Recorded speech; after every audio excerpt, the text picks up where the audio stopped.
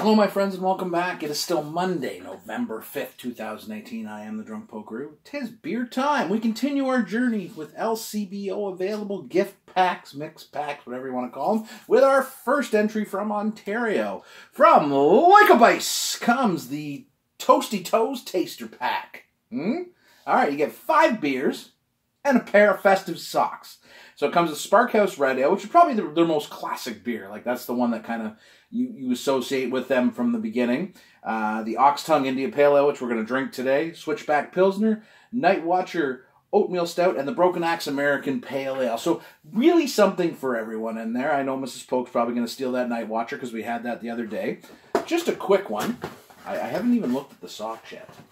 But I am down for a pair of festive socks, and yeah, um, those are pretty cool, and they feel like relatively thick. So I think I'm gonna steal those for myself, you know, because I do need a new pair of socks. But let's talk about beer for a minute. Now, uh, this one retails about 19.95, I believe. So five beers, pair of socks, 20 bucks. Sounds good. Let's uh, let's get into it though.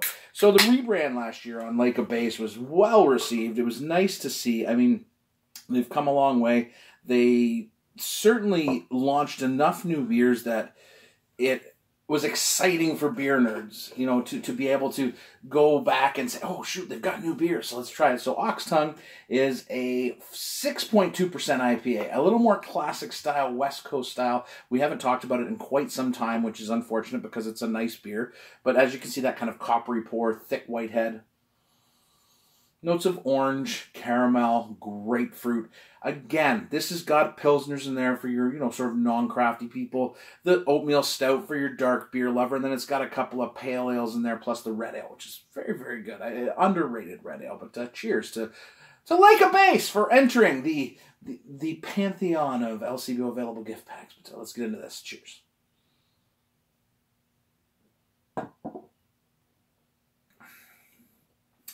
Easily one of my favorite Lake of Bays beers. Lake of Bays! Lake of Bays.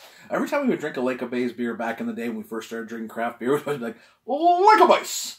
Um, very nice toasted bready malt backbone in this one. And it's a West Coast style IPA with lots of citrus, grapefruit, orange, pithiness, bitter, piney resin on the back end. It is a very approachable and accessible, nice West Coast representation of what an IPA is. One of my favorite styles, not to dissuade anybody from the NEIPAs, but to me, this is this is my favorite kind of IPA. I like the kind of maltier profile. So, anyways, there is something for everybody in this. It's a cool pack. The gifts, come on.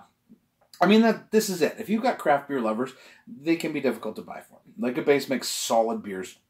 Having the socks in there it's just kind of fun, you know. And then again, why not? You know, you got five different styles of beer. You do have an IPA and a pale ale, which will appeal to the hopheads. The red ale will appeal to kind of the maltier fiends. The switchback pilsner, like I said, is for that maybe the non-crafty person. Give them that approach or that uh, let them see that you know craft beer can be something less than just big hoppy bastards. And the Night Watcher Oatmeal Stout, which is more of a session stout, low ABV good to try. My friends, look for your local LCBO. Wear your socks to the Christmas party and show off your love of great Ontario craft beer. Cheers, my friends. Enjoy your day.